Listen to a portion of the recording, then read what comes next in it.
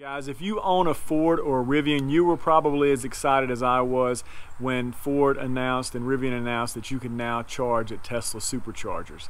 This is a big deal. This opens up tons of opportunities uh, for non-Tesla owners to add thousands of chargers uh, and just make travel easier. However, there is a little catch. You do have to have a software update and an adapter. Uh, Ford was a little slow at rolling the software updates out, but I think most of those are, are finished now. However, the adapter piece is where Ford is really lacking. So Ford has been very slow at filling orders and most of you are likely still waiting on your adapter. So what I wanted to do today is talk to you about some other options. I actually have all three of the major adapters uh, and wanted to just kind of share my review of the Lectron Vortex plug with you. Now, I'm getting ready to go on about a 3,000 mile trip to Michigan, and so I'm definitely going to be utilizing the Tesla Supercharger network. So I'm going to take this and I'm exclusively going to use the Electron supercharger adapter. So I want to just kind of test this out, see if it performs as well as the Ford adapter or other adapters that I've used, and just kind of let you know my thoughts. So Electron did reach out to me, asked me if I'd be interested in testing out their product. They sent it to me for free. Um, so that just a disclaimer there that I'm just testing this out. However, if this thing doesn't work or I don't like it, I'm going to tell you like it is. Uh, just right off the bat, I'll tell you that I have heard reports from people that the Electron chargers, there have been complaints that people are getting them stuck in the Tesla, um, to the Tesla cord. So when you try to remove it, for some reason they were unable to get those. And it's not just one or two reports, uh, there's been several. And if you're on internet forums and Facebook groups, you've probably seen those as well. So I'm interested in trying that out to see if I have any issues with that. So first, let's get the boxes out. I'll show you what they sent me. We'll open them up, do a couple of uh, quick tests, and then I'll share some supercharging uh, reviews with you on the road. All right guys, so Electron actually sent me their Vortex plug, which is their supercharger to CCS1 adapter, and then they sent me a Tesla to J1772 adapter. Now, the reason you need both of these is because the CCS adapter only works with DC fast charging which any level 2 type charger, a destination charger, or a mobile charger, that is not going to work. So you have to have this other adapter. Let's open up and take a look. Now, first of all, this tells you on the back this is not suitable with any kind of wall connectors or anything like that for use with Tesla superchargers only. And I want to also just point out something with this all right, so let's just open it up here. It's a little easier to do this if you had more than one hand.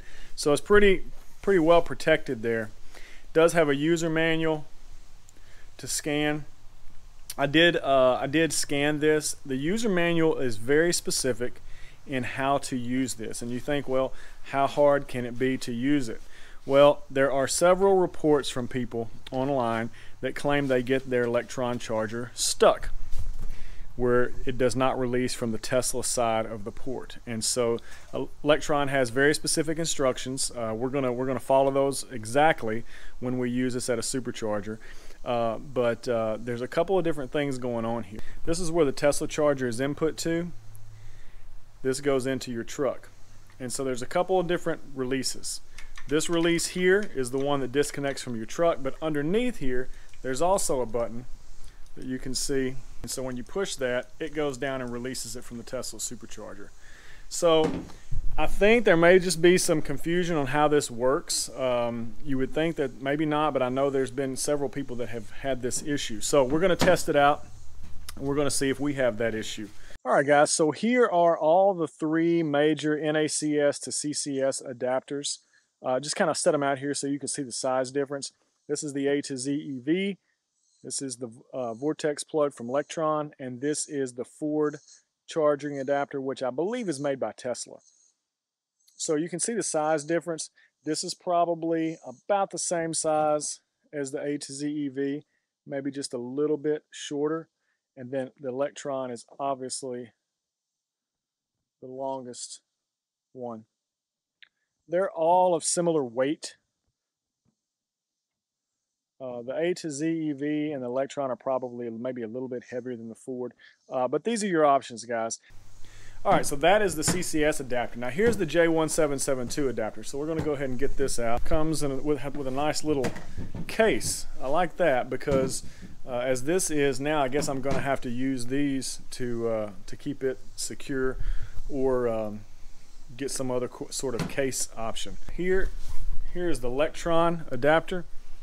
Now some of the adapters that I have seen are very short. They'll just be maybe this length right here. I actually like the fact that this is a little longer. Uh, this has the same mechanism here. There's a button under the bottom and then there's a button on the top. So, okay guys, I've got a Tesla mobile connector right here. So we're going to open this up. We're just gonna see how it connects. Um, I'll do some charging with this level two charger um, to kind of show you how that goes. But, but first of all, I just kind of want to take the Tesla side of this and we want to plug it in here just to see how it works. All right, so we'll just put it in right there. All right, so it just clicks on there nice and easy. It's very secure. There's no, there's no movement at all inside there. So if we want to release it, let's just push up on the bottom of this and slides out. Now really guys, there should be no difference between this connection and a supercharger connection. The connection is the same. The cord may be a little thicker, but uh, that came off pretty easy. So we'll actually do the same thing with this adapter. We'll take the CCS adapter, plug that in, and I'm, I'm pushing this up as well Same deal, nice and tight, no movement. It's very, very sturdy.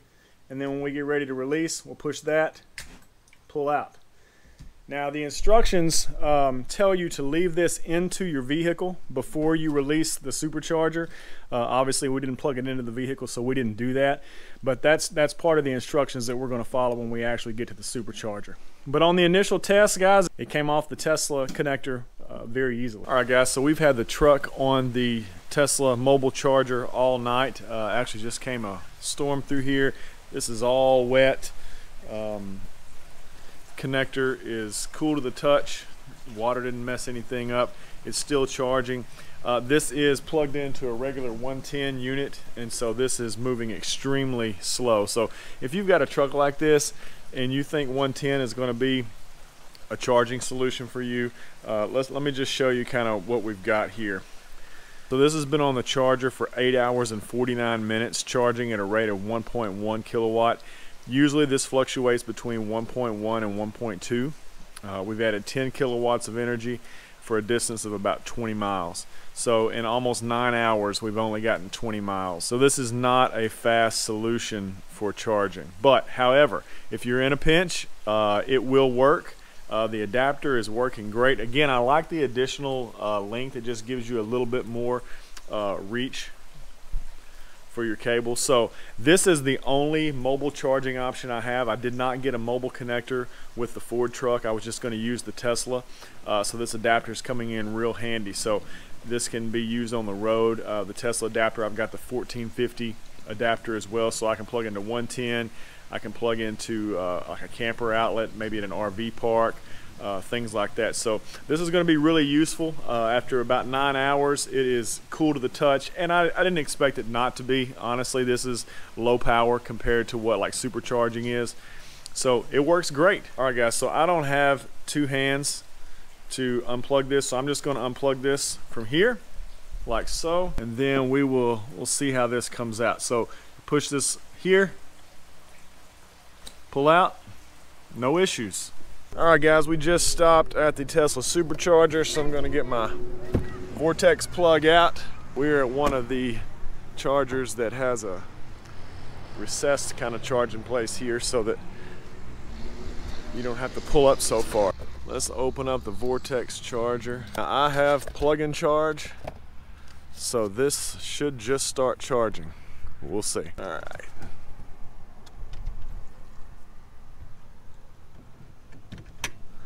All right, that's in.